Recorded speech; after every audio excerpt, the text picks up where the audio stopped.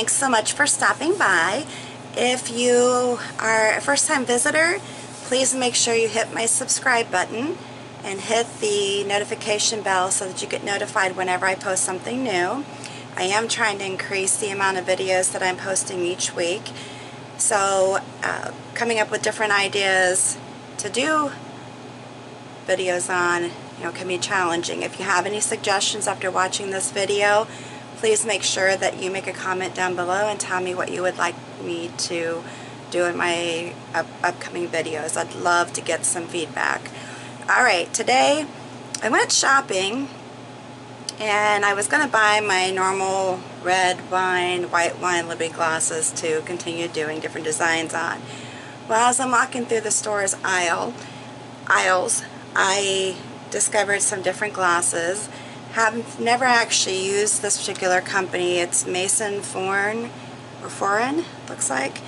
And this is the Leona Pilsner beer glass, which I thought, you know, I, I like the regular Pilsner glasses, those are nice, but I think this kind of is a little bit more of a fancier looking glass for a beer glass. So what I'm going to start out by doing is showing you how I painted this particular design. It, obviously it's just black on the glass created as branches. That's not how I'm going to leave it. it I'm going to continue on with a uh, pattern that will be painted over it. But I thought, gosh, I really, really like these. You know, why not kind of veer off a little bit? So I bought some different white wine glasses and some different, basically, I believe that they're kind of like my smaller wine glasses where they're kind of generic where you can drink either red or white, white wine out of them. So stay tuned for those as well. But I really liked these. And again, I'm not really familiar with this glass company, so I'm going to go with it still regardless and the brush I used to paint this vine or branch branches I should say is again one of my favorite glass art brush Guess um, brush series maybe is the glass art by Dynasty this is a number 73 and it's a number one which I'm looking at it as more of a liner brush but it doesn't really say that that's what it's called. But anyways, I'm going to go with that. So I've already cleaned my glasses, which obviously I did when I did this one. I'm going to be using the FolkArt enamel paint. It's the licorice, so it's the black. And I am going to just go through quickly how I did the vine, or the, keep calling it a vine, I'm sorry. They're actually branches. And I'm just going to start at the, the base of the ball of the glass and just put my brush into the paint kind of I kind of roll it a little bit trying to keep the tip nice and neat now the reason I, I switched to this one because I was actually trying to use the uh, plaid one stroke brush and I really kind of liked how this was covering and the type of designs I was getting out of it. So that's that's the reason why I'm not actually using a, a one-stroke brush because typically those have been my go-to. But I think, again, depending on what kind of design you're painting, it's you that depends on what kind of brushes you use. And honestly, a, a good brush is worth everything. I mean, I truly do believe that what brush you're using is actually very important for the quality of work that you get out of it. Now if, if the quality, you know, you're doing something for yourself and you're not really caring too much about that, then you know use whatever you have on hand. But I do find that, for me at least, the quality of the brush matters, plus the longevity of it too. And honestly, I'm not really great with the care of my brushes. And I read some people's posts about how they take care of their brushes, and in all honesty, I don't pay mine near the attention. Rinse them out and dry them standing up in my little water box thing that I have from way back when I started doing uh, one stroke. So, you know, I don't pay attention to whether they're laying flat or however, but they still, even with me not doing much uh, protective care with them, they still last. So that says something for, for the brand. I know some people will wash them out with special kind of soap. And Dawn soap, honestly, is probably one of the best soaps that I know of for painting and, and glass painting, washing your washing your glass, washing out your, the paint out of your brushes and so on. So I just stick with that. I think that's a good cleaner. It's a good cleaner and it doesn't seem to be abrasive. If that makes sense.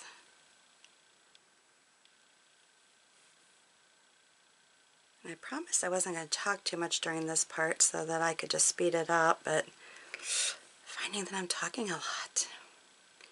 So anyhow, whenever I do branches, I just kind of just go with it.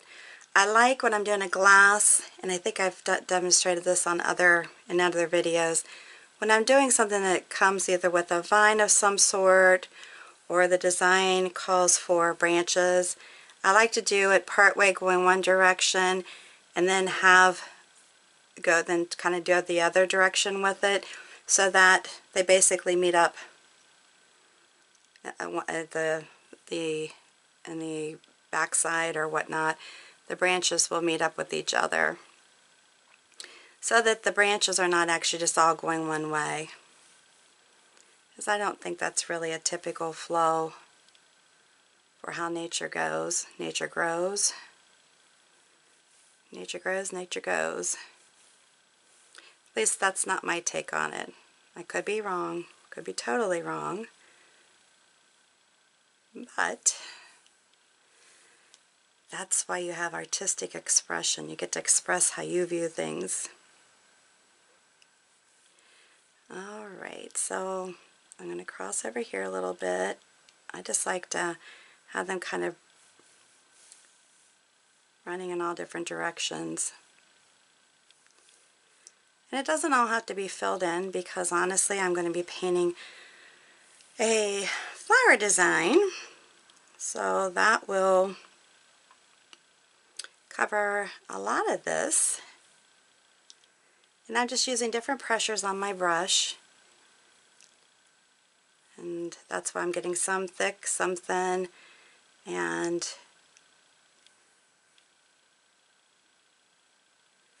getting the different the different pressures will create a different outcome.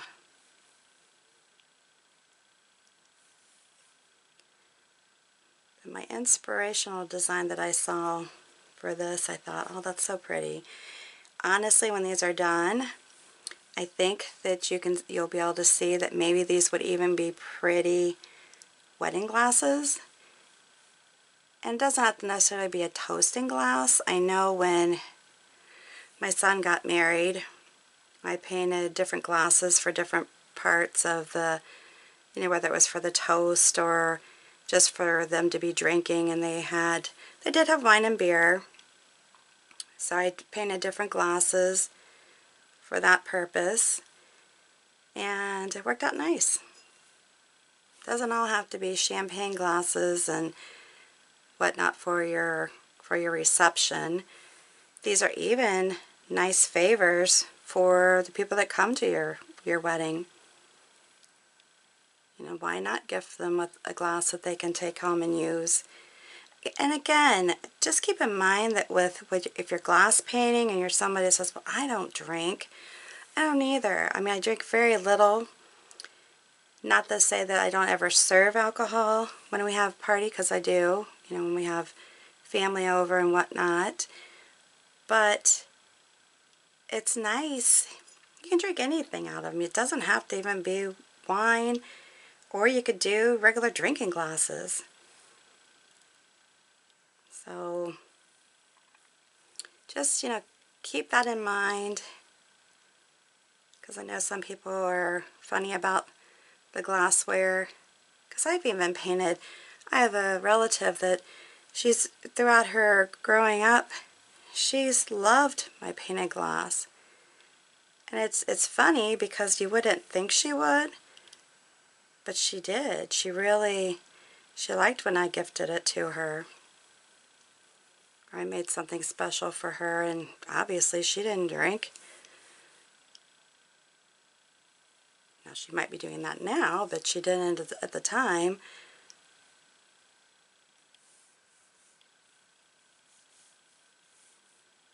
But there's more than wine glasses to paint too.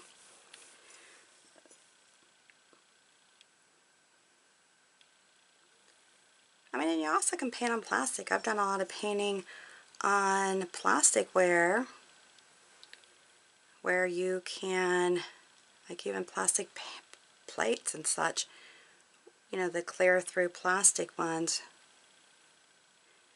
They are beautiful when you're they're painted. Obviously, with painting plates, you need to do reverse painting which I might show you. I actually saw a neat video today that I thought, oh, that would be awesome. I have kind of an idea of something I might try to do. Not sure how well it'll work out with any idea. It's kind of something where you can start them and think, oh, that was silly. Why did I even think about that? But I did, so here we go. Alright, I'm just kind of looking around to see if there's any holes I need to fill. Again, I just want to keep them going in different directions so that it's not all one way. But I think it looks pretty good at this point.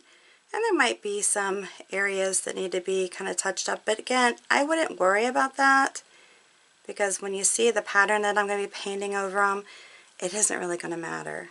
It truly isn't. Alright, so there you go. I got that part done. And we're going to move on to the next step. And yes, my paint just rolled into my, my paint bottle just rolled into my paint. That's kind of how my day has been going. Alright, let's move on. Alright, so as I mentioned, we're going to continue on uh, with the pattern over the top of these. One of these I blew dry, I don't know. Now I don't know which one it was. I thought it, I did. Oh my goodness. Alright, so I'm to start with I'm starting with the wrong color. Let me back up here. I'm going to be doing the, using a Royal, Lane, Royal Aqualon number 8 filbert brush. My lovely fine line Winstonia brush, which is actually a fingernail brush. And then I'm going to keep this on hand, which is my number one glass art uh, by Dynasty number 73 as I showed you, that's what I actually did the did the uh, black vines or the black I keep doing that black branches with. Alright, so let's get started here. So I'm just going to go with, with the filbert and make these cute little flowers. And I'm just going to keep doing it all around the glass. And I am getting black in here. Shoot. Okay, hold on here. Thought I Alright, well let's go ahead and move on. I started to do the video and apparently the glass I chose was not actually dry enough yet. Hopefully this one is because I did pick up way too much black. And I'm starting again. I keep forgetting to say what, what I'm using. Um, this is the Royal Aqualon number 8 filbert brush. I'm going to be using the Winstonia fine liner. This is actually a nail painting brush. And then I'm going to keep this one, which is the glass art brush I've already told you about, um, by Dynasty. It's number 71. It's number 1, which I am assuming is a liner brush. Paints I will be using are the Moon Yellow, and that is, all these are FolkArt enamels, and that was a multi-surface. This one is Parchment, which is also multi-surface. And this one is my citrus green, which I love. That is an enamel. Wicker white, which is also enamel. And then my thicket, which is also an enamel. Alright, so let's go ahead and get started. I'm just going to randomly go around the brush, or go around the glass, excuse me. This, I'm starting with the parchment color first. And just going around there. Now I do want to try to close up my center, so I just have a little hole there. But I'm just going to touch lightly and quickly around the brush. And I keep saying I want to close up that center, and for some reason I'm not doing that. Now we can overlap a little, but I think I might wait till I add my next coat on. And again, this is just a real simple pattern. Whenever I do my glass painting, I try to keep it simple so that it can be enjoyed by more than just a few. Looks like I might be starting to pull up some black, so I got to be careful here because I really don't want to do that. And it's okay if it is in there because you know that when you are coming off of, you know, painting something that's still kind of wet, you're going to have that. That's a risk you take.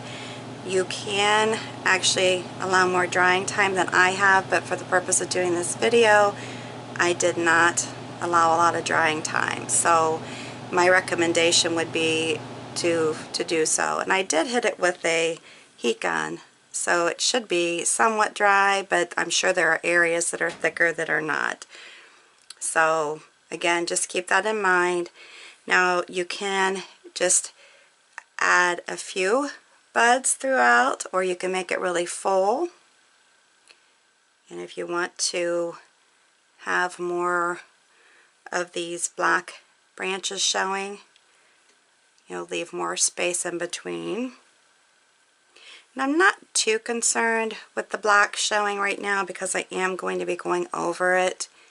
Again, I want to try to keep my center closed as much as possible. But I think with this pattern, I'm just going to, I am going to leave some of the branches open. So I am just going to do like little clusters, which is kind of how I'm, I'm painting it right now. And you can see that, I'm sure. Get back over these a little bit, make them a little bit bigger. I am going to overlap some because I will be coming back and overlapping. I do like this. This is such a fun brush to use no matter which which size you use. It really is fun. And you can use it, I'm going to be using it to create my petals too for my leaves. Alright, let's see, maybe I'll put another one down here. And I'm not really paying attention to how many buds or flowers I'm actually putting on here. Uh, if you know me too, you know a lot of times I do pay attention to whether or not I have even or odd numbers because I do like odd numbers for the buds or the flowers, open flowers, whatever. I mean, it's all, for me, it's all the same. Whether it's opened, closed, partially open, it doesn't matter. And these are just going to be little buds that I'm putting in throughout. Alright, I think I'm going to leave it at that. For that color, I am going to rinse my brush out.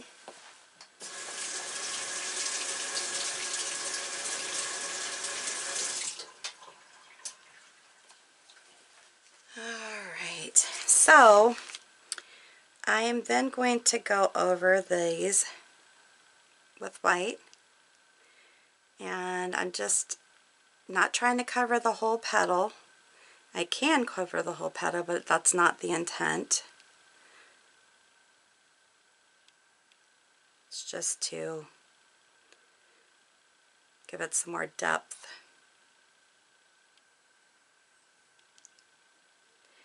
And you can use different color combinations. It doesn't have to be white even.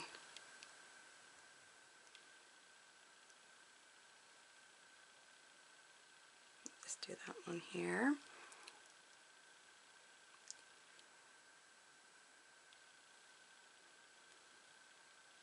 And just putting it over the top.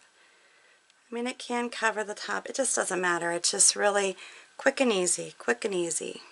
You know what would be pretty even too would be a combination of the white and maybe like a pink, a magenta, you know, something along that sort.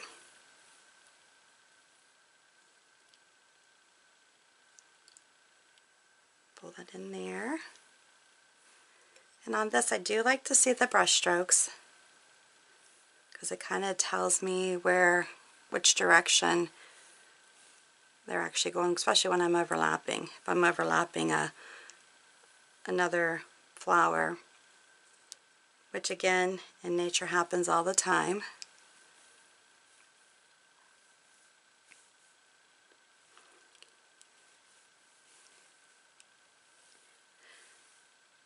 Okay, if you're if you're there, I'm not sure how much of this got cut off. I happened to look up and my video card apparently had run out of video space. So I had to stop and clear that out. So I apologize if you missed a lot of this. Basically, I'm just going over the originals that were painted with white. This is the wicker white. And this is one reason why I said too that it didn't matter so much about the black showing through because I was going to be going over it anyways. So here we go. Back at it and hopefully I can get this done without it running out. Or something else running out. I've had one of those kind of days. You ever have those days? Well, today is that day for me, I think. Could be worse though, right? Always be worse. So, here we go. Try to get this wrapped up before anything else happens.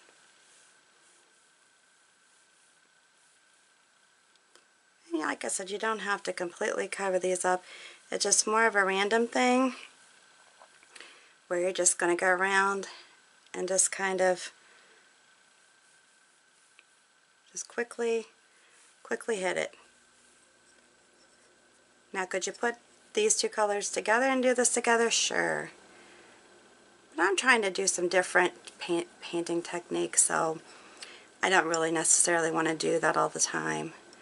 Alright, so here you have that. The next thing I'm going to do is to go back in to each one of the actual flowers that are open and then just tap in some of the moon yellow for the centers. So obviously this is a very easy center. Couldn't be any easier. Just tapping in the centers. That's kind of why I wanted to keep them keep them closed. Sometimes I don't do that, but it depends on the, the kind of center I'm going to put in. With this one kind of being relatively small, I didn't want to have a big, too big of a gap. This one is probably bigger than what I really wanted. But it's okay. We always find a way to make it work out, right? Always find a way.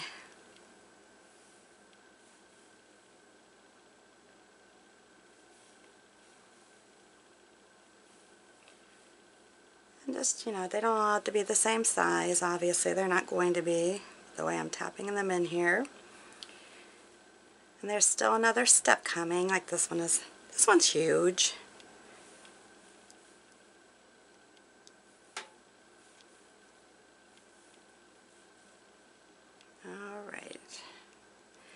Keep it going.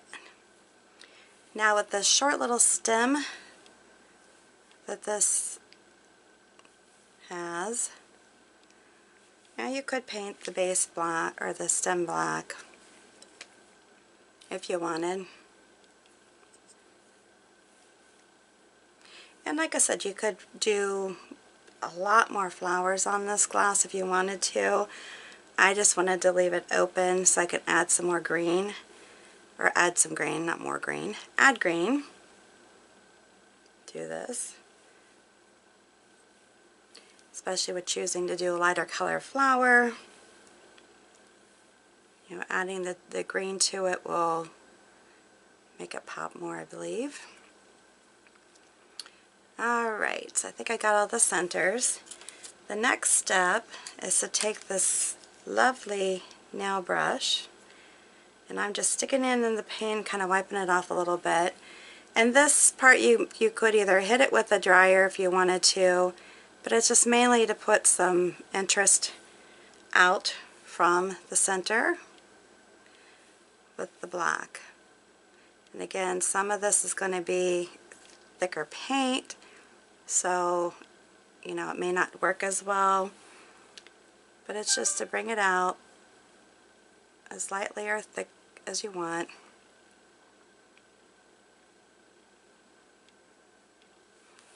And just randomly, or not randomly because I'm going to do it on all of them, but have a center.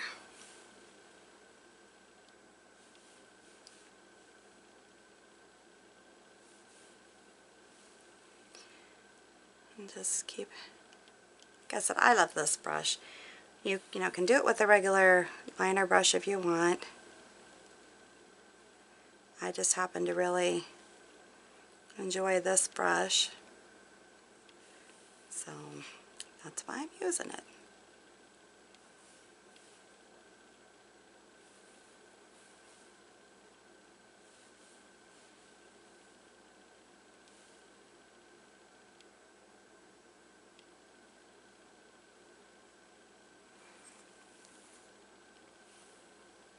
There you go. See, it's just easy, easy, easy, easy. If you feel like you're getting too much paint on this on the liner brush, then wipe it off. You can always wipe it off. Like I said, my biggest concern right here is touching the flowers while I'm turning the glass because of where I'm holding it. That'll be the next thing.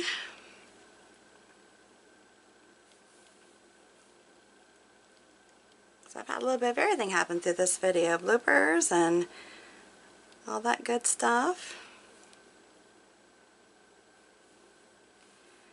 So I never said I wouldn't keep it interesting. And go over that little hump. If you like this video though, make sure that you give me a big thumbs up. Again, make sure that if you have in any interest, anything that interests you that you'd like for me to do a video on, I'm just, I'm all, I'm all ears right now trying to come up with some different things to paint. Got some little things I'm doing around my house that maybe I might share with you. used to do that kind of stuff quite often and kind of got away from it but I'm finding that I miss it. I really don't do a whole lot of painting in my own house anymore because I used to do a lot of painting on walls. That's actually where my love comes from. I really like doing decorative painting.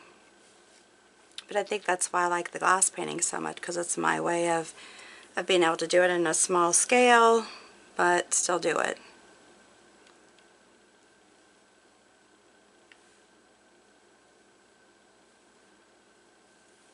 Oops, almost forget this one down here.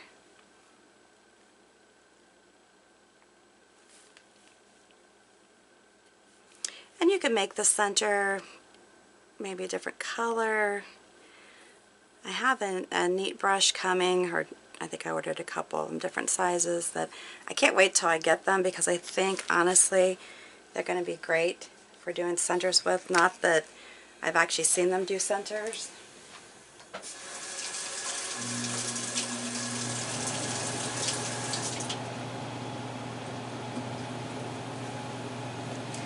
So I think they should be coming soon, which will be really really fun.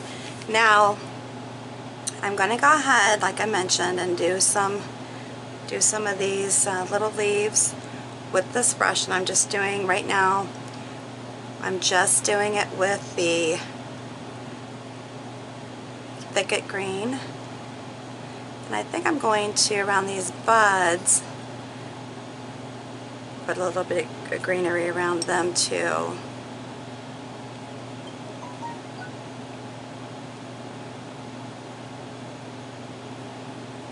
And then, that's why I say that's one reason I wanted this to be open a lot so I could put these in. Kind of fill it in with, with some leaves.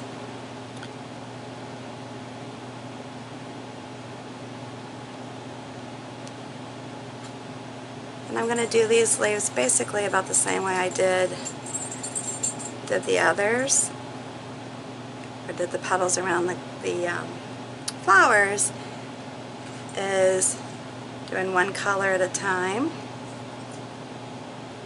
And I'm just doing like just single color and just tipping it in. Just nice little easy, easy little strokes.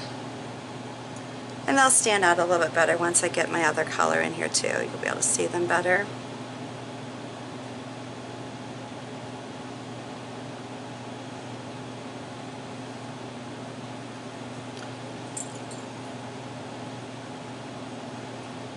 I'm just going to do basic, these basic pole leaves. Nothing fancy on this glass. I don't think it needs it think it's um, fancy enough, pretty enough without having to add any kind of fancy leaves on it. Just my opinion, hopefully you feel the same. I'm just gonna put just some single, single here too. Well, actually that one I'm gonna go like that. Some singles down here. Know I can get a little crazy with leaves. I'm not. I'm trying not to. So I'm just going to wash, not wash, but wipe my brush out a little bit. And then I'm just going to go back over with a little bit, just a swipe of, of this color. So you can actually still see the, the darker green. Just a swipe, swipe, swipe, swipe, swipe. Bit too much on that. Put that again. So I say it's just very simple, simple design. You know, you could easily do the branch in browns if you wanted. I did not do that in browns because of my inspiration was in black. And I like I like the difference. This doesn't all have to be like on the buds, you can just add another little leaf if you want. Oops. Get into the right green here, I'll be fine. So again, it's just, just a quick little swipe. Swipe, swipe. And if you watch my channel, once again, by adding more color like this on top, what does that do with the paint? What happens when you have a little bit thicker coverage. If you know, let me know down below.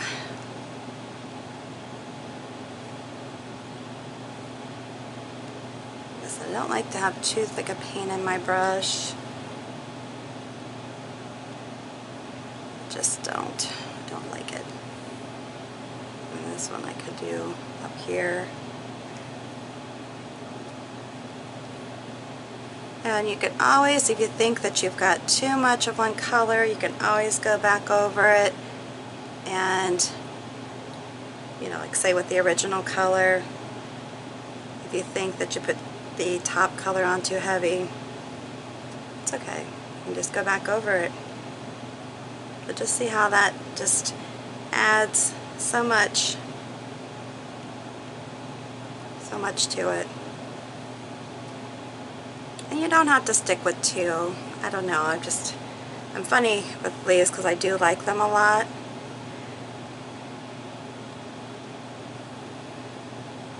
And I can add, you know, a third one here if I want. Like I said, filbert brushes I don't use a whole lot, but I do really like the designs that they make and how easy it is to do you know your leaves, your the flower buds, the you know the flowers themselves. Just makes very easy. So I'm going to go around and do kind of like this with it. Some of the open buds. Like I said, you could see where you could possibly, you know, filled in with more flowers, but I just don't, just didn't feel the need to do that. Really don't. So I kind of want to do that. But if you see places where you want to add, you know, just go ahead and do it. Now's the time to do it.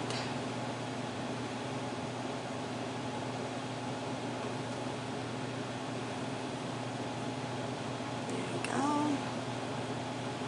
Look how pretty that is. I mean, just a basic, I mean, it's just beautiful, I think. Very pretty. Very, very I mean, even if it's just dainty looking, it's just, it's beautiful. I hope you like it too. If you do, give me a big thumbs up. Make sure, if you haven't done this already, that you subscribe to my video, or my channel, I should say, sorry, to my channel, and hit the notification bell so you get notified whenever I post something new. Again, I would love to have a comment if you have any suggestions, like the video, whatnot. You know, feel free to give me a comment below. And make sure that you also help me out by sharing, sharing, sharing, sharing this video. Friends and family, there's a, there's a tab underneath the video that will allow you to do that very easily and I surely would appreciate it. Alright, so that's it for this video. Until the next one, you have a good one.